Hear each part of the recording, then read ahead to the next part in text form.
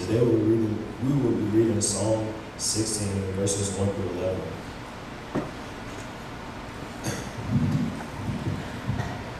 Keep me safe, my God, for in you I take refuge.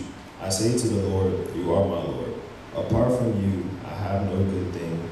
I say of the holy people who are in the land, They are the noble ones in whom is all my delight. Those who run after other gods will suffer more and more. I will not pour out libations of blood to such gods, or take up their names on my lips. Lord, you alone are my portion and my cup. You make me lock secure. The boundary lines have fallen for me in pleasant places. Surely I have delightful inheritance. I will praise the Lord who counsels me, even at night. Night, my heart instructs me. I keep my eyes awake, always on the Lord. With him at my right hand, I will not be shaken.